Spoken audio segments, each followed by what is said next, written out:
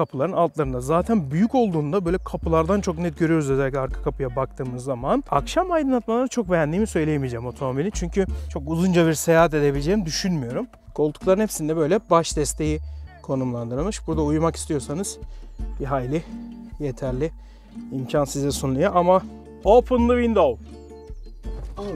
Son dönemdeki Audi'lerden gördüğümüz ikinci bir ekranı görüyoruz. Buradan bu geçenlerde Tiggo 7'de de sormuşlardı. Kumandada şöyle güzel bir özellik var.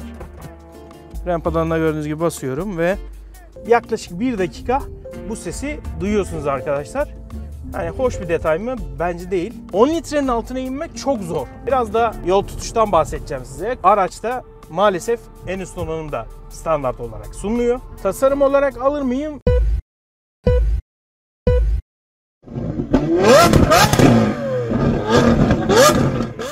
Herkese selamlar arkadaşlar. Bugün DSUV segmentinin en çok satan oyuncularından biri olan ve belki de en çok satan oyuncusu olan Tiggo 8 Pro yani Chery'nin en büyük modeli olan Tiggo 8 Pro ile birlikteyiz.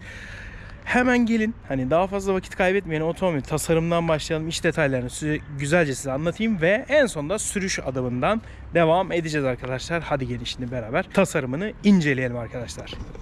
Şimdi Tiggo 8 Pro yani ailenin en büyük otomobili olduğu için ve boyutlarından dolayı neredeyse 5 metre uzunluğa sahip. Genişliği de ciddi manada büyük ve otomobile baktığınızda heybetli bir yapı çok net bir şekilde görebiliyorsunuz. Bu heybetli yapıyı destekleyen detaylardan bir tanesi büyük ön ızgara ve Mercedeslerden hatırladığımız bu böyle yaldızlı bir ön ızgara burada dikkatleri çekiyor. Şurada yan tarafta hani hava soğutmalı fren sistemine destek olması için ızgaralar konumlandırılmış. Hatta radar sistemi konumlandırılmış ve Tiggo'nun LED teknolojili farları burada yerini almış durumda. Yani akşam aydınlatmaları çok beğendiğimi söyleyemeyeceğim otomobili. Çünkü daha iyi teknolojide otomobiller kullandık. Ha, genel anlamda değerlendirdiğiniz zaman başarılı olabilir ama detaylı olarak başka modellerde daha iyi seçenekler mevcut arkadaşlar. Yanında bolca düz at kullanılmış ve gövdeden farklı bir tasarım detayı burada kullanılmış. Burada daha çok böyle araziye girerseniz hani inerken ve inerken paçalarınız pis olmasın diye böyle bir tasarıma yer verilmiş kapıların altlarında. Zaten büyük olduğunda böyle kapılardan çok net görüyoruz görüyoruz özellikle arka kapıya baktığımız zaman. Ve jant tasarımını çok beğendiğimi söyleyemeyeceğim. Farklı bir jant tasarımı kesinlikle seçerdim arkadaşlar. Jant tasarımından hemen şuraya gelmek istiyorum.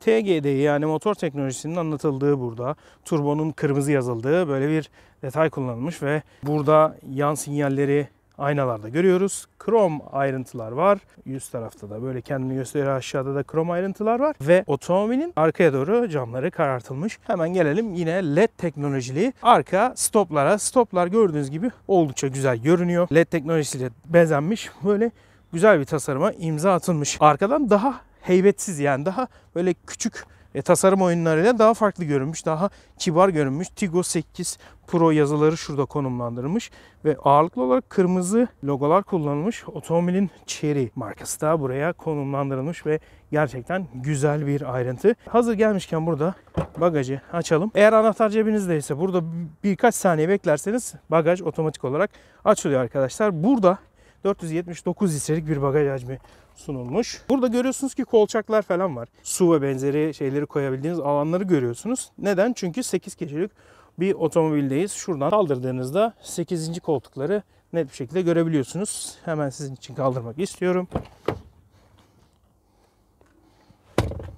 Gördüğünüz gibi 6. ve 7. koltuk buraya konumlandırılabiliyor arkadaşlar. Şurada çok güzel bir özellik var. Havalandırma hızını buradan ayarlayabiliyorsunuz. Sadece hızını ayarlayabiliyorsunuz. Yani ön taraftakiler arka klima için ne seçtilerse, hangi sıcaklığı seçtilerse aynı şekilde buradan hızını arttırarak bu alandaki insanların da konforu düşünülmüş arkadaşlar. Buraya baktığımızda çok güzel. Bu gördüğünüz gibi arkadaki pandizotu buraya konumlandırmışlar. Onu da gizlice ufakça böyle buraya gizleyebiliyorlar. Burada bir tane çakmaklık var. O da güzel bir ayrıntı olmuş otomobilin burası için. Bir de arka koltukta seyahat etmek mümkün mü konusuna değineceğim. Şimdi burada küçük bir eleştirim var. Yani otomobilin evet boyutları çok iyi. Anma ve lakin hemen şunu söyleyeyim. Şu öndeki sürücü koltuğu rahat oturduğu vakit buraya geçmek imkansız hale gelebiliyor. Yani ikiliden geçmek. Tekliden geçmek bir nebze daha kolay. En azından yolcu koltuğunu ileri alabilirsiniz. Ama dediğim gibi burada hani çok uzunca bir seyahat edebileceğimi düşünmüyorum. Şimdi öndekiler hiç oturmazsa şöyle göstereyim. Burada yeteri kadar alan size sunuluyor. Ama bu şu şekilde şöyle göstereyim size. Yani ayağım neredeyse sınırda gördüğünüz gibi. Öyle biraz daha dik oturmam lazım. Onun için buraya çocuklar daha fazla oturabilir. Burada yan tarafta bir şeyler koyabilme ihtiyacınızı karşılaması bence güzel bir otomobil ama şunu açık yüreklikle söyleyeyim. Arkada çocuklar haricinde e, yetişkin bir bireyin seyahat etmesi çok da olası değil arkadaşlar. Bakın baş, baş mesafem bile oldukça yukarıda ve şu camlar sayesinde bir miktar da olsa klostrofobiden kurtulabiliyorum. O zaman gelin şimdi içinden devam edelim. Tabii ikinci sırada alan biraz daha iyi. Yani baş mesafem çok iyi. Gördüğünüz gibi öndeki sürücü çok rahat 30'a değil mesafem çok iyi. Oldukça güzel bence tasarlanmış. Böyle Tigo logolarını görüyorsunuz burada. Benim dikkatimi çeken detaylardan bir tanesi koltukların hepsinde böyle baş desteği konumlandırılmış. Burada uyumak istiyorsanız bir hayli yeterli imkan size sunuluyor ama arkadaki baş destekleri kısa kalmış. Öndekiler kadar değil. Şu koltuğu buradan kontrol ediyor olabilmek bence çok güzel. Son dönemde daha lüks otomobillerde gördüğümüz ayrıntılar. Taba deri kullanılmış. Tigo logoları var. Burada taba deri detaylar kullanılmış. Bu da güzel. Burada bir tane kolçak var. Bardaklıkları koyabiliyorsunuz. Burada bir havalandırma ızgarasına yer verilmiş. Şimdi şunu söyleyeceğim hemen. Burada Type-C yok. Normal USB'ler var. Onlar da e, idare eder. Yani e, Type-C olmasını tabii ki beklerdim. Şimdi daha geniş camlar kullanılmış ve daha büyük kapı var ya. O sebepten dolayı burada baya güzel bir alan size sunulmuş. Yumuşak malzeme var. Aşağıda da yumuşak malzeme var. Şuradaki kombinasyon zaten çok güzel. Tigo logoları burada yerini almış durumda. Kapıyı eğer açacaksanız ve kör noktada bir bisikletli ya da yaya varsa sizi uyarıyor ya da araç varsa sizi uyarıyor. Bu da bence güzel bir özellik. Özellikle kapı açma kazalarını engeller. Kocaman bir cam tavana yer verilmiş. Cam tavanda bu iç mekanı ferah kılan ayrıntılardan eşya gözü konusunda da arkalar çok da cüretkar değil. Onu baştan söyleyelim. Hemen öne geçelim. Kokpit gerçekten çok güzel tasarlanmış ve otomobilde kalite algısı yüksek deri detaylar bolca kullanılmış. Gördüğünüz gibi taba deri detaylar da kullanılmış. Ve eşya gözü otomobilde çok fazla. Yani özellikle şu orta konsolda bakın şurada iki bardaklık var. Aşağıda kablosuz şarj ve e, bazı eşyalarınızı koyabileceğiniz bir alan var. Torpidoda bir alan var. Gerçekten güzel ama kapı iç cepleri biraz cömert olamamış maalesef. Hemen şu içine oturmak istiyorum ve başlamak istiyorum. Hemen aracı çalıştırıyorum sizin için. Çok güzel bir kombinasyonla karşımıza çıkıyor. Gördüğünüz gibi gösterge paneli bu şekilde. Gösterge paneli farklı modlarla ayarlayabiliyorsunuz bakın. Başka bir tema yok maalesef gördüğünüz gibi. Ama yerleşimini beğendim. Bu orta konsoldaki ekran baya güzel. Ve otomobilin birçok işlemini buradan yapabiliyorsunuz. Android Auto başarılı bir şekilde çalışıyor. Gördüğünüz gibi şurada bir asistan var. Asistan sayesinde birçok özelliği kontrol edebiliyorsunuz. Open the window. All right. Open. Gördüğünüz gibi dört camı da açtı. Close the window. Closing window. Tekrar diyorum. Open the sunroof. Opening the sunroof. Gördüğünüz gibi sunroof'u açmak için işlem yapıyor. Hop. Gördüğünüz gibi sunroof'u da kap açıp kapatabiliyor. Bu da güzel bir ayrıntı. Bence hani e, bu araç içi için. Hemen şurada Audi'lerde son dönemdeki Audi'lerden gördüğümüz ikinci bir ekranı görüyoruz. Buradan daha çok klima kumandalarını ağırlıklı olarak kontrol edebiliyorsun. İşte koltuk ısıtma soğutma opsiyonunu buradan kontrol edebiliyorsun. Bu güzel bir detay. İstersen kapat dediğin zaman buradan tamamen kapatabiliyorsunuz. Joystick şeklinde bir vites seçici konumlandırılmış. Start stop tuşu burada konumlandırılmış. Auto hold ve otomatik park freni burada. Şuradan aracın başka sürüş modlarını değiştirebiliyorsunuz. Sürüş modlarını değiştirme şansınız var. İşte normal, spor ve eco modu var. Bu geçenlerde Tiggo 7'de de sormuşlardı. Bu normal moda göre renkler değişiyor sadece bu ekranın. Spor modunda kırmızı oluyor. Eco modunda daha sakin bir tema burada yerini almış durumda. Burada da bir tane telefonu sabitleyeceğiniz bir alan var. O da bence güzel bir ayrıntı. Hemen otomobille ilgili küçük bir detay daha göstermek istiyorum. Böyle bir kumandası var. Kumandada şöyle güzel bir özellik var. Hemen size şöyle göstereyim. Gördüğünüz gibi bir kere kapatma tuşuna, iki kere de o tuşa basılı tuttuğunuzda araç otomatik olarak dışarıda çalışmaya başlıyor. Böylelikle daha önceden ısıtma yapabiliyorsunuz otomobili ve böylelikle çok güzel şekilde sıcak bir otomobili sizle karşılıyor. Gördüğünüz gibi uzaktan kumanda modu aktif diyor. Lütfen e, normal moda geçmek için fren pedalına basın. Fren pedalına gördüğünüz gibi basıyorum ve şöyle gördüğünüz gibi koltukta ileri doğru geliyor ve normal moda geçmiş oluyor. Gidip araçtan kapatmanız gerekiyor. Bu da böyle detay bir özellik. Kumandanın ekstra bir özelliği daha var. Uzaklaştığınız zaman kapıları kapatıyor. Eğer ki camlar açık kaldıysa kaldırıyor onları da. Camları da kapatıyor. Otomobilin dışında dikkat çekici detaylardan bir tanesi. Şurada gördüğünüz gibi büyük ekranın orada Tiggo yazıları.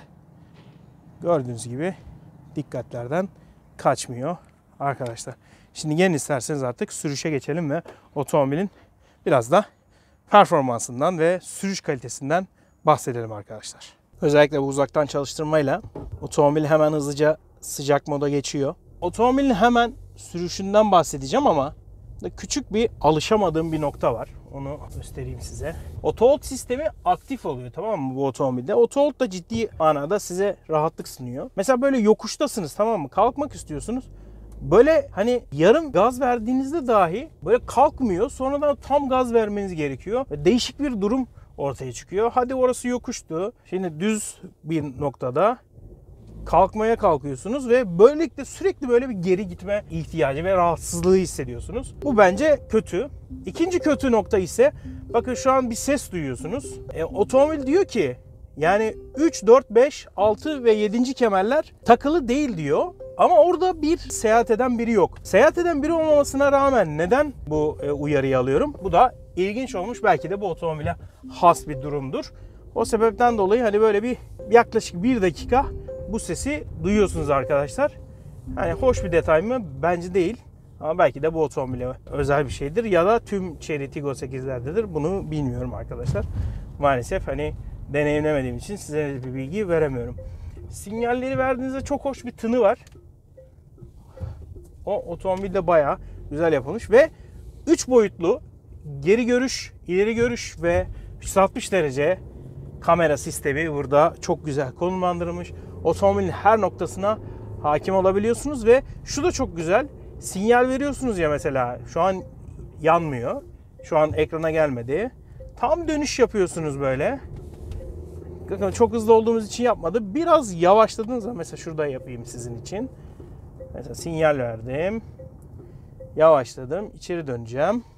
Gördüğünüz gibi 3 boyutlu kamerayı açtı. İsterseniz böyle kameranın her yeriyle de oynayabiliyorsunuz. Otomobilde 1.6 turbo benzinli makine kullanılmış. Hemen onun da altını çizelim ve anlatmaya başlayayım. 1.6 turbo gerçekten bu otomobile istediği her işi yaptırabiliyor. Performans konusunda da başarılı. 3 farklı mod var dedim ya. Normal, Spor ve Eco.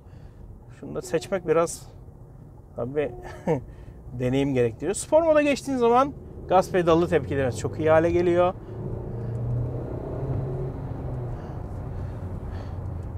Burada gerçekten spor modunda hissiyatlı bir gaz pedalı tepkisi doğuyor ve şunu söyleyeyim direksiyon ağırlaşıyor. İsterseniz bunu sistem üzerinden de hani araç ayarlarından da yapabiliyorsunuz.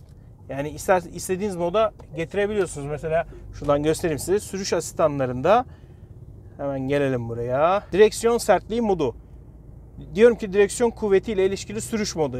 Spor modu aldığım için sert yapabiliyorum. Ama isterseniz mesela bunu kapatıp sürekli böyle konfor modunda ya da daha sert modda yani yumuşak veya sert modda seçebilme şansınız var arkadaşlar. Bunun dışında otomobilde seçebileceğiniz birçok şey var. Yani örnek veriyorum arkadaki otomobil size çok hızlı yanaştı. Onu uyarmak için dörtlü sistemini aktif edebileceğiniz bir seçenek var. Ve otomobil gerçekten hani birçok noktada güvenlik opsiyonu konusunda fazlasıyla size destek oluyor. Kör noktanızda eğer bir araç varsa bu ortadaki ekrandan sizi uyarıyor ve birçok farklı noktada özellikle mesela şehir içerisinde e, ani önünüzdeki otomobil durdu veya önünüze bir biri çıktı, bir bisikletli çıktı, bir yaya çıktı. Aktif fren destek sistemini kullanarak otomatik fren yapıyor veya sizi uyarıyor gibi birçok farklı opsiyonu var. Bunları da burada seçebiliyorsunuz. Arkadan çarpışma uyarısı dediğim gibi az önce anlattım. Kapı açık uyarısını yapabiliyorsunuz.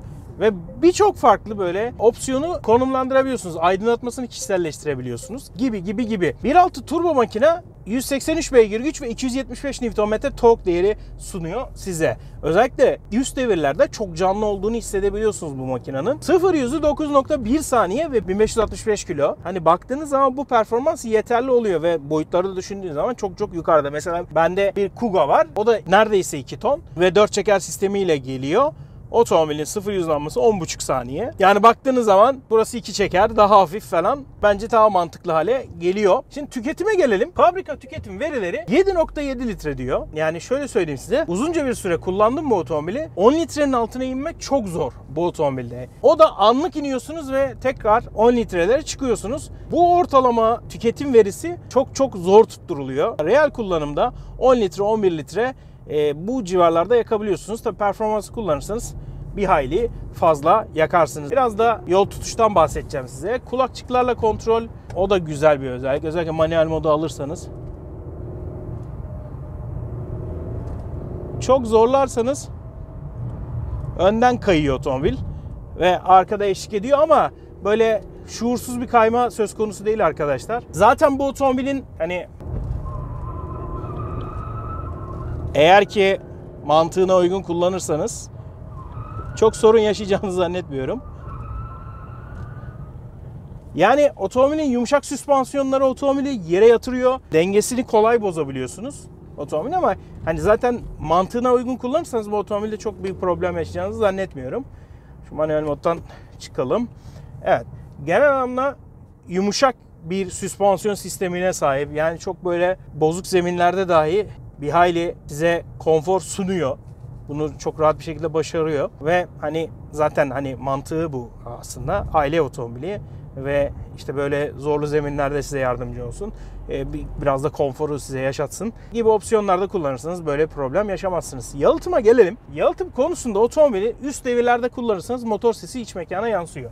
Rüzgar sesi camlardan alıyor. Ama yol sesini yani fena bir şekilde absorbe etmiyor. Yani baktığınız zaman bu üçü de en iyi olduğu yer yol sesini içeri almaması. Onun dışında hani yalıtım konusunda hani bu otomobile sahip olursanız bir yalıtım yaptırmayı düşünebilirsiniz. Bu da ayrı bir detay arkadaşlar.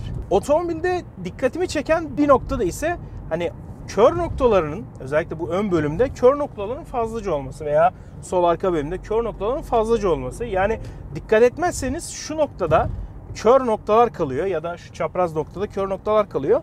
Ama otomobilde sunulan güvenlik sistemleri özellikle kör nokta uyarı sistemi bu otomobilin bu sorununu ekarte edebiliyor. Fakat şunu söylemem lazım. Özellikle bu güvenlik donanımları üst pakette yani iki donanım var. En üst pakette standart olarak sunuyor. Diğerlerinde standart olarak değil opsiyon olarak dahi sunulmuyor. O da hani en azından opsiyon olarak olsaydı bir opsiyon paketi yapılabilirdi. O da güzel olurdu. E, üst donanımda olmayan başka şeyler nedir? Ön ve yan yolcu koltuğunun ısıtması, işte otomatik ayarlanıyor olması gibi gibi bazı opsiyonlar var.